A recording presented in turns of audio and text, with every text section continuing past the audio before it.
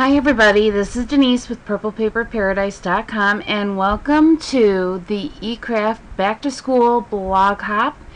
And today I am putting together a teacher's gift. Now I always like to give the teacher a little something on the first day of school just to kind of say to them welcome back and we appreciate all the hard work that you do.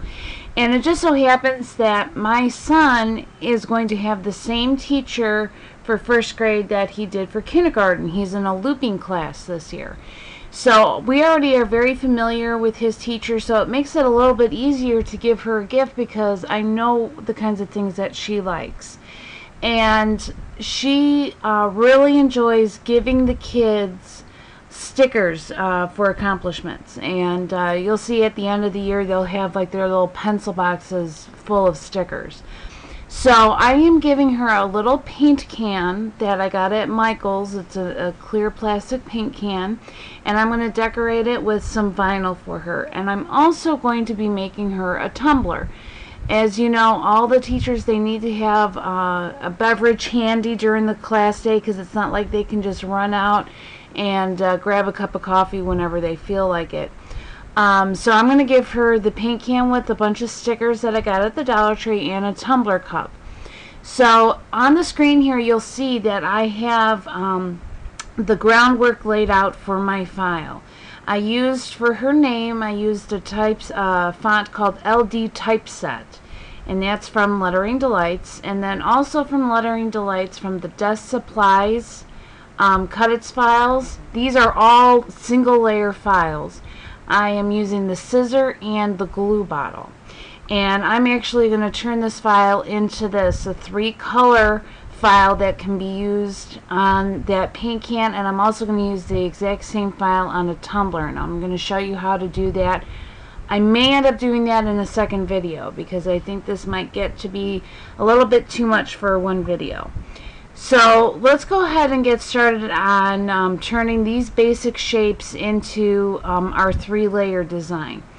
So to start with I took the glue bottle here and if you notice on here I have the word glue on there and what I'm going to do to do that's very easy is I'm going to copy it and then do a paste in place and then I'm going to go ahead and select a font and I'm going to select the um, Modern Sans font from Lettering Delights.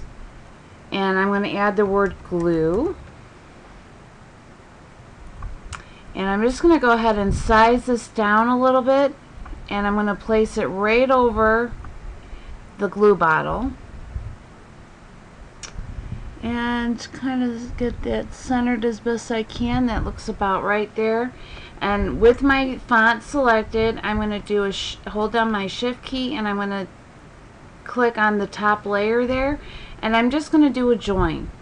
And now you'll see that I actually have this layer that has the word cut out and then this bottom layer. So when I go to cut this whatever my bottom layer is is going to be what shows through. Now um, for the font this is also very easy to do. All we're going to do on this is we're going to split the letters and I'm not going to show you exactly what but I just went every three letters and I would take out letters as needed so that when I cut this out I'm actually only cut I'm not cutting out all the layers all the letters in the vinyl. I'm trying to conserve on the vinyl. So I am using each letter is only going to be one layer of vinyl. And now for the scissors. This is where it gets a little bit tricky and I'm actually going to zoom in here a little bit so you can see better what I'm doing. But I am going to go ahead and put my cursor on the mat here. And I'm going to bring in a basic shape. Um, the rectangle actually works really well for this. And I'm going to bring this over here. And what I'm going to do is I'm going to cut off the scissor portions of it so that I leave just the handles. But you know what, before I do that, I also need to do a copy and paste on this. So let's go ahead and copy, paste in place. And then we're going to go ahead and just layer this rectangle right on top and we're going to use our boolean join feature once we got this lined up just right. I'm going to angle it move it the angle just a little bit more I think I'm going to use my keyboard keys to kind of get it in there better think I went a little bit too far there.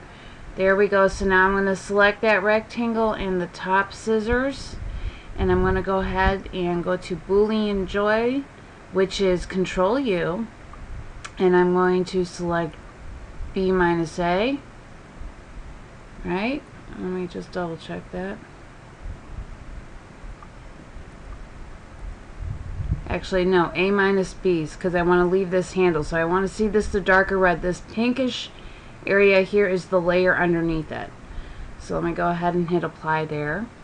And then I'm going to do that again for this other handle. So let's go ahead and bring in another basic shape. A rectangle. And again I'm going to have to angle this quite a bit and place it over here. I don't want to go too far because I don't want to take out part of my other handle. I want to make sure that the rectangle is only covering what I want to remove. And if it's, it's not going to cover all of it right now, and that's okay, I'll show you how I do that really easy once we get this all figured out here.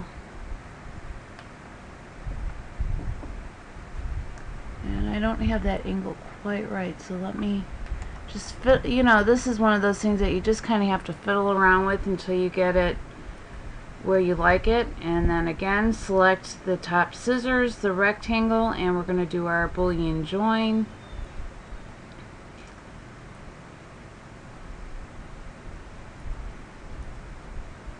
And there we go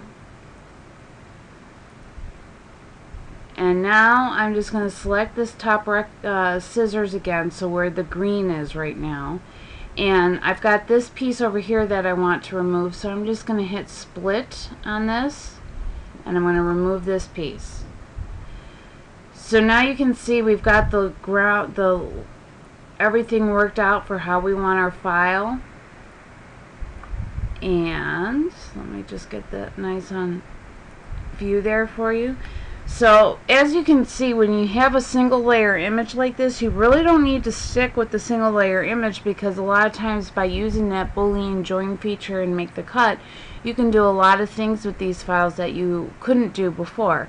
So that's going to conclude this video. I'm going to start another video to show you um, the next step and how to make use the new conical warp feature that is in Make the Cut 3.3.3 to get this on a tumbler. So make sure you uh, go to the next video. Thanks again. I'll see you soon.